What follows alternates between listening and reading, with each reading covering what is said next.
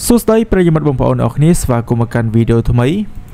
ក្រោយតែពីការចាក់ចេញពីក្លឹបបាល់ទាត់បិសាយក្រហម Manchester United មកនៅពេលនេះមានក្លឹបបាល់ទាត់អ្នកមានមួយនេះគ្រោងក្នុងការនាំយកកីឡាករខ្សែប្រយុទ្ធ Cristiano Ronaldo ដែលឲ្យនៅប្រាក់ឈ្នួលមួយសប្តាហ៍រដូវទៅ1.2លានដុល្លារឯណោះ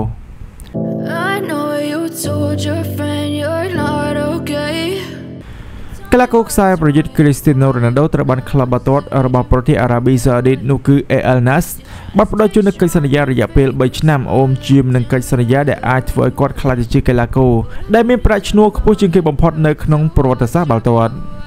ជាក៏ប៉ុន្តែរ៉ូណាល់ដូដែលជាប្រធានក្រុមបាល់ទាត់ជម្រើសជាតិប៉ូទុយហ្គាល់បច្ចុប្បន្ននេះកំពុងក្លាយទៅជាកីឡាករដែលគ្មានតម្លៃខ្លួនបន្ទាប់ពីគេបានចែកផ្លូវគ្នាជាមួយនឹងក្រុមបាល់ទាត់បេសាយក្រហម Manchester United នាពេលថ្មីៗនេះ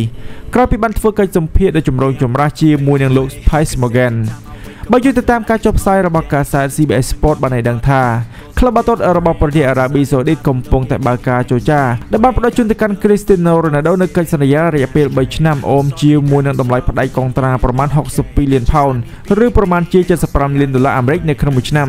ដែលគេសន្មតថាគាត់នឹងអាចរកប្រាក់ឈ្នួលបានប្រមាណ1.2លានផោនឬក៏ប្រមាណជា1.5លានដុល្លារអាមេរិកនៅក្នុងមួយសប្តាហ៍ឯណោះ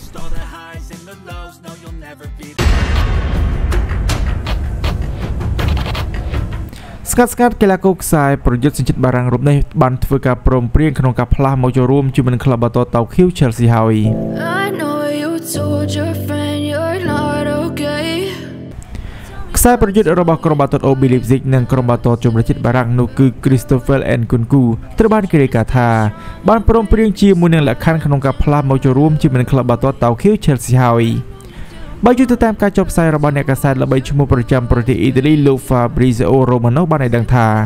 ក្លឹបបាល់ទាត់តោក្យូ Chelsea កាន់តែគីក្នុងការយកបានកីឡាករ Nkunku ពីក្លឹបបាល់ទាត់ OB Leipzig ខណៈដែលការប្រកាសជាផ្លូវការនឹងធ្វើឡើងនាពេលឆាប់ៗខាងមុខនេះ ប្រពន្ធដដែលនេះបានបន្ថែមទៀតថាភាគីទាំងពីរបានព្រមព្រៀងគ្នានឹងធ្វើការពិនិត្យសុខភាពរួចរាល់តាំងតែពីខែកញ្ញាមកម្លេះហើយនាពេលឆាប់ៗខាងមុខនេះក្លឹបដែលមានមូលដ្ឋាននៅទីក្រុងឡុងអាចនឹងនាំយកកីឡាករខ្សែប្រយុទ្ធវ័យ25ឆ្នាំរូបនេះជាផ្លូវការនៅក្នុងរង្វង់ទឹកប្រាក់ចន្លោះពី60លានដុល្លារអាមេរិកទៅ70លានដុល្លារអាមេរិក